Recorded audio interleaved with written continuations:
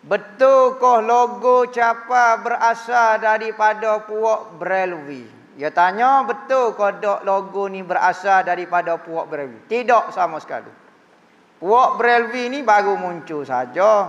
Ni logo capa ni zaman mana? Sebelum zaman muncul golongan Brelwi lagi, dah wujud dah logo capa ahlu sunnah wal jamaah mengukir la, cak, la, lakare capa Nabi. Eh, masalah dia buat lambai, dia buat logo, dia suku pasar tapi sudah dilakar dah daripada ulama ahli sunnah wal jemaah.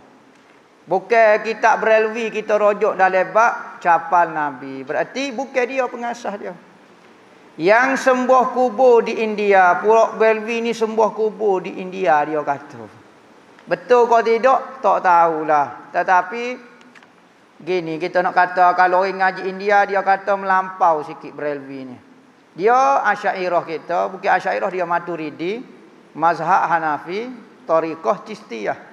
Popok dia ni. Brelvi.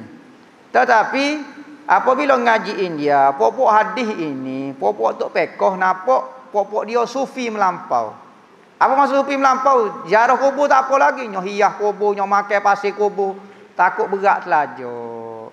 Tapi kalau kita kata sembuh kubur dok, dia lebih kurang pok kita yang ziarah cuma dia lebih suka tutup wali lagu tu. Sembuh gambar rasa tidak ni popok dia ni. Eh, sebab kita duk tengok sesek Brelvi dia pakai surat beija lagu tu. Lepas tu ada gambar capa. Nah, tu simbolik dia lah. Tak semestinya pakai capa tu Brelvi. Eh, tapi kita nak oyak kata Brelvi yang sembuh kubur. Ai. Eh, kita nak kata lagu mana kita tak berani apa. Biarlah kata eh Maulana ambo tu sebut Eh. Hamba malah syarah. Ha. Eh, takut jadi panjang lebar. Gitu maksud dia lebih kurang eh. Ha, jadi bukan berasal daripada Brelvi.